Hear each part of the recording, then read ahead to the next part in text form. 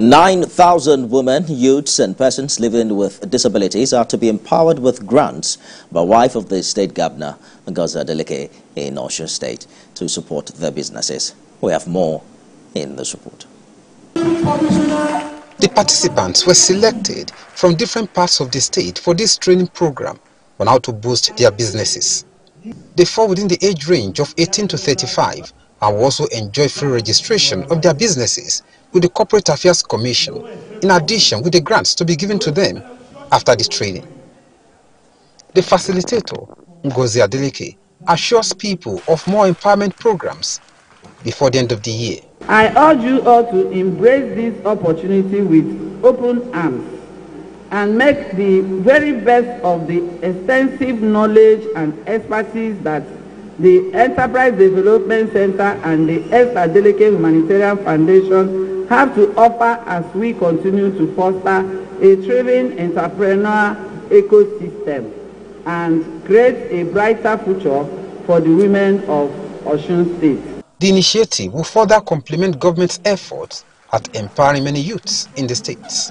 His Excellency the Governor does approve that we should empower, we should train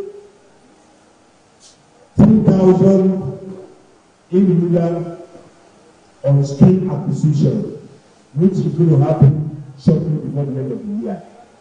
It just graciously approved. This program has been brought um, to the youths um, between the ages of 18 to 35 years, uh, most especially for women, um, to be able to make them managerial leaders. I want to thank our mother, uh, uh, Her Excellency Erelu Ngozi Adeleke for this opportunity to bring it to us on how to grow our business. The three-day training program is also taking place in Ilesha and Iwo and the facilitator appealed to the participants to maximize the opportunity.